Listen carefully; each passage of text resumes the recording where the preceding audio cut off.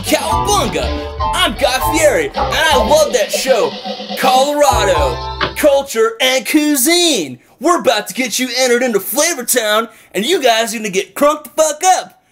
So listen and enjoy. I'm from fucking outer space, and I'm about to go into my time machine. So you guys have an awesome time and listen to the fucking podcast. Oh yeah, and by the way, that guy Brad Blair is fucking awesome. So sweet. Now you're about to get in here. Bill. What? Strange things are afoot at the Circle K. Welcome to the Colorado Culture and Cuisine Radio Podcast. I don't even know what the name of it is yet. I'm kind of coming up with that.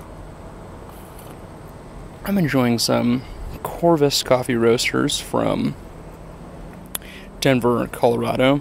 They have a coffee um, Santa Barbara from Apaneca Ilamatepec, El Salvador.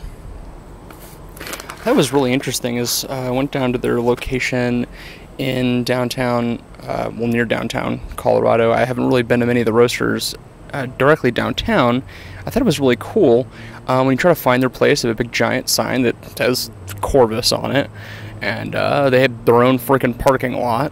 So you know, I made a Yelp review, and I was talking about how, you know, I really appreciate the fact they have their own freaking parking because as someone who's disabled, it's hard for me to park a car sometimes if you have to turn into stuff and move it around the wheel a lot, you know, all that kind of stuff.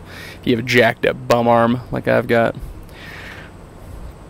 So finding their location was pretty epic, and I thought it was really cool. Is when you first go in, you see this like um, giant like uh, block kind of thing with uh, uh, fire for um, natural gas, whatever, to provide heat in the winter.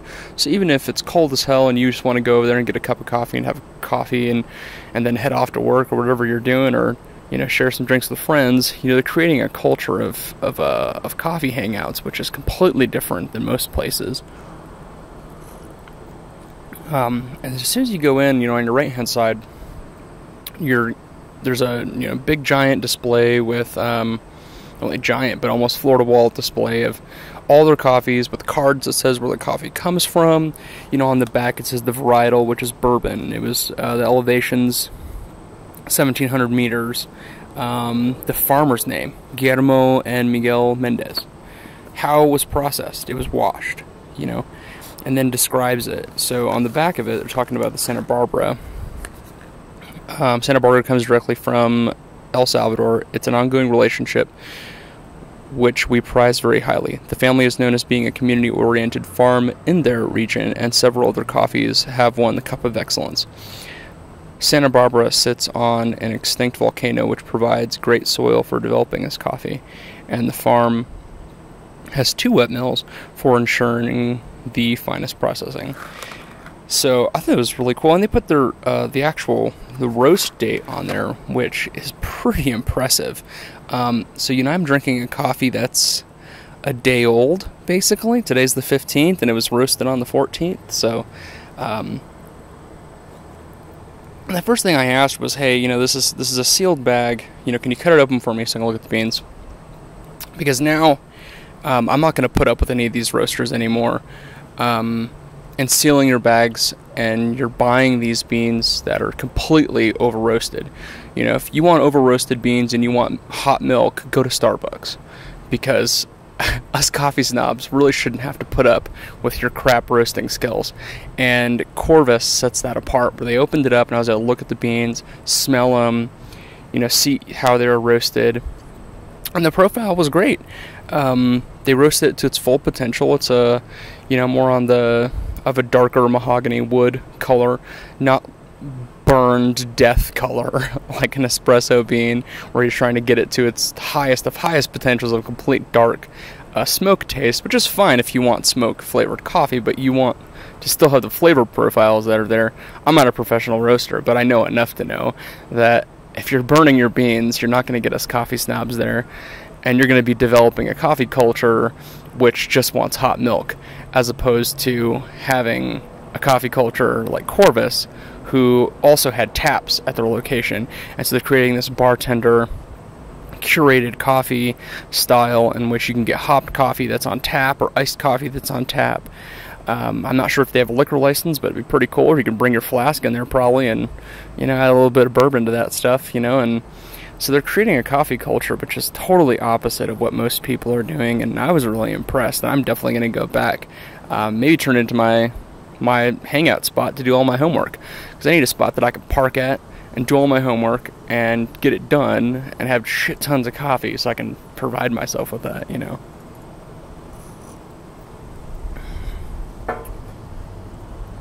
I ended up finding on Yelp, um, a girl told me about Pablo's Coffee. I'm really excited to check them out. I guess they're one of the first roasters in Denver that was doing high quality coffee.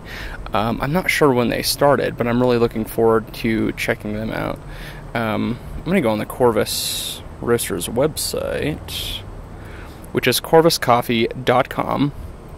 And you're greeted with this really simple and elegant um, type of website, which on the design aspect, people who actually know know, web design, these guys know what the hell they're doing. It's pretty simple. There's a search or store button on the left hand side, and there's five decisions in the middle home, shop, coffee blog, our mission, and espresso bar. So if you can't figure that out, you're a jackass.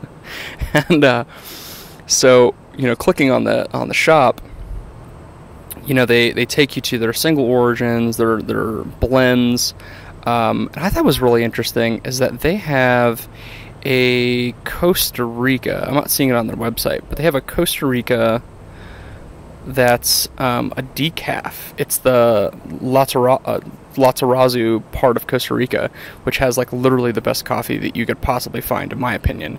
That has tons of um, honey flavor and raspberries and just different types of flavor in there, um, which I was completely baffled by. Um, just because basically when you're you're doing decaf, essentially you're just ruining the coffee. that's my opinion. I, I, mean, I guess there's probably good decafs, and that that's probably the one good decaf. But I don't see why you would turn a La into into decaf. But hey, they're trying something out, and they they're appeasing me. Um, the prices are fairly decent. Um, it's mostly in the 12 bag, um, the 12 ounce um, bag variety instead of the 300 gram, 10 ounce kind of thing that uh, that Huckleberry is doing, which Huckleberry is selling theirs at the same pretty much price. So they're they're competing direct. Uh, Huckleberry is competing directly with Corvus, which is pretty tight.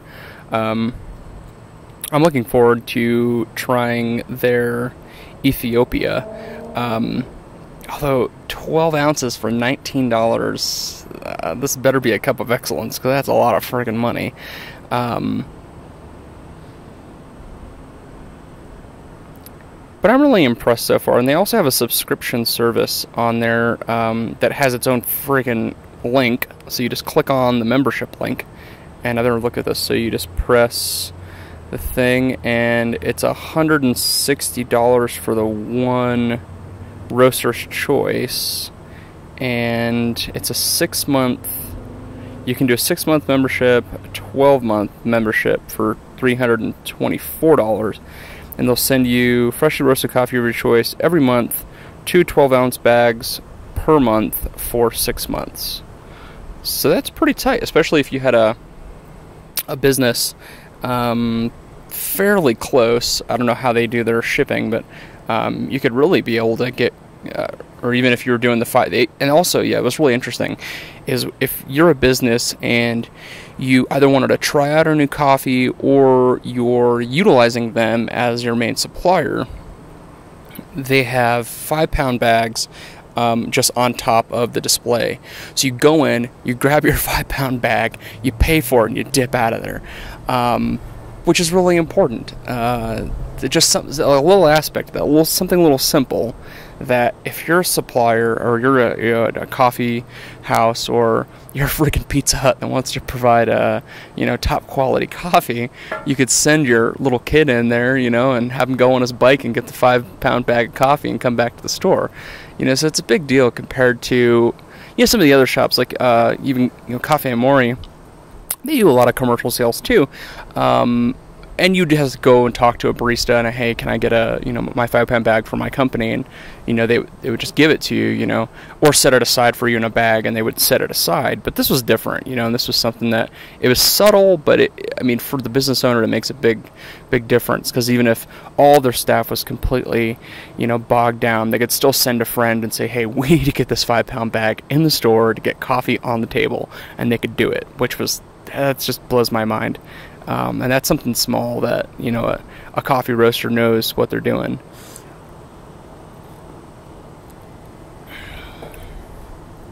Secondarily, on the Colorado culture and cuisine, for the culture side of things within Denver, I find this really interesting in Colorado that I'm staring out my backyard in beautiful Arvada, Colorado.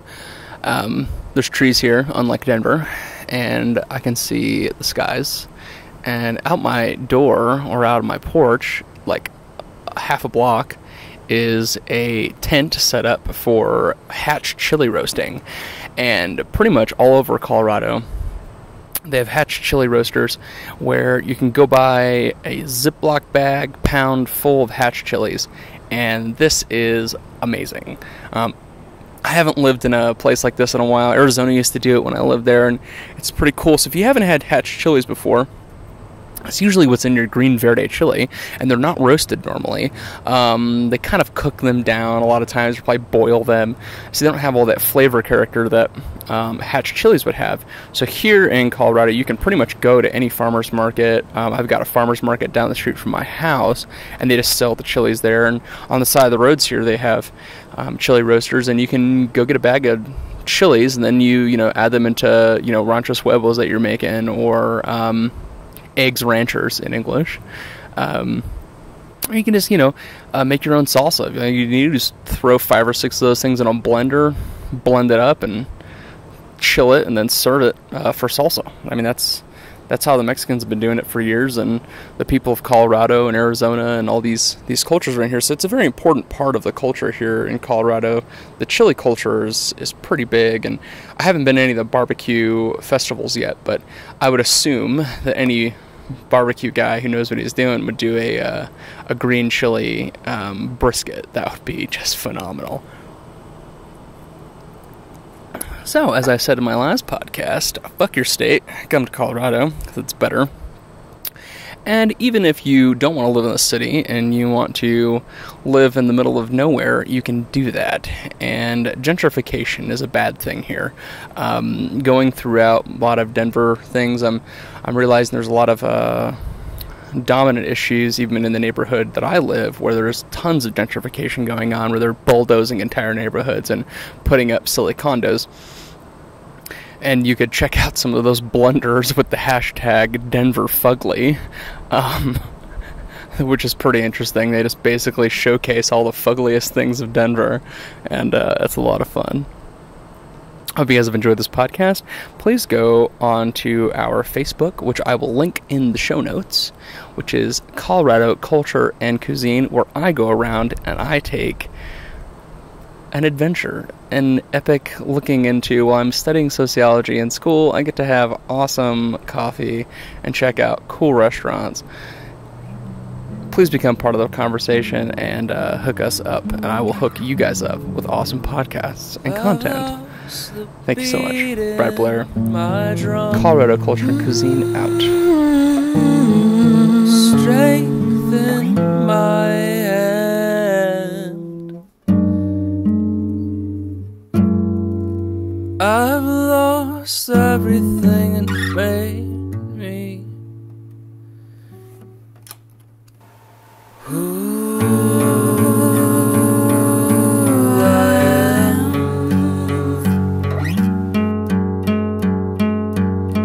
I saw a dark night sky.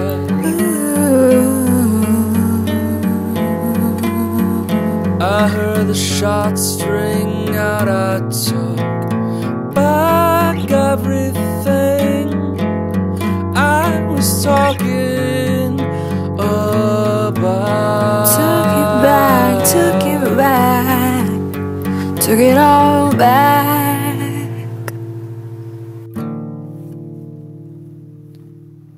Can I I make it up to you?